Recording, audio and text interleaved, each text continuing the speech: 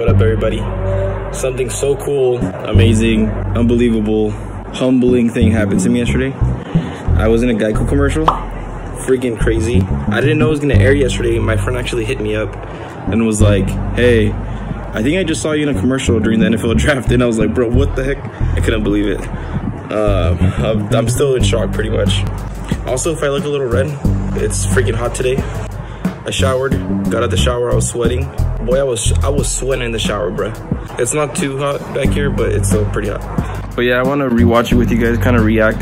You guys are probably like, dude, you've probably seen this thing like a million times already. Every time I see it, it's like the first time I see it. So I knew that my clip had a chance of getting into the commercial. I didn't know 100% that it was going to be in it. Because I, I got notified like last week. I got an email by the by the creator of the commercial. Um, super awesome dude. Sent me a bunch of files to sign. And um, yeah, we just went from there. Uh, it said on the agreement though that it wasn't 100% uh, sure that I was gonna be in the video, in the commercial or not. So I kind of just like, yeah. What I'm trying to say is, if you guys want to make content, want to make videos, do it. Because you guys never know. Honestly, if I never cut my hair off, I wouldn't have been in the commercial. But then I think about it and I'm like, if I never started on YouTube, I, I would have never been in the commercial. Honestly, I'm just happy to be on a commercial.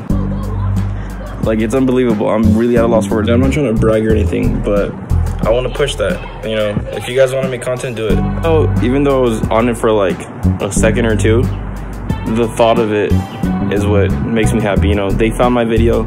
They could have gone to any other video. It means a lot to me that you know I'm actually on somewhat on someone's radar. I'm, I'm just barely scratching the surface. I'm not even scratching. I'm not even at the surface. I'm on my way to the surface to scratch it. All right, guys. I'm gonna play the full clip. Um, you guys don't have to watch the full thing. I'm I'm only like in the first like three seconds. But yeah, let's watch it. Thanks for sharing your DIY haircuts. Thanks for sharing your savage moves, and especially my boy, dude. Thanks for sharing your cute kids and your adorable pets. Now it's our turn to share with the Geico Gift Bag. A 15% credit on car and motorcycle policies for both current and new customers. And because we're committed for the long haul, the credit lasts your full policy term. So thanks again. One good share deserves another. Like, bruh. Like, how cool is that? You know, I'm not trying to rub in, in anybody's face or anything. I want you guys to do the same, you know? I want you guys to do the same, you know, go out there and make videos if you guys want. Because I know there's a lot of people that want to make videos but are just shy about it. Um, look at my sombrero. Angels, baby. Every year it's kind of like something crazy. Like last year, I didn't know that I was on a Netflix documentary. Cousin told me that I was on a Netflix uh, documentary.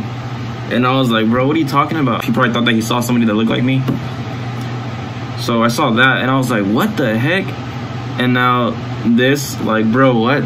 Man, that's so unbelievable. But I want to finish this video by just saying thank you guys to my subscribers. Thank you for supporting me. Thank you for watching my videos. Um, you know, thank you for the support. Um, I'm not gonna stop. I'm gonna keep going.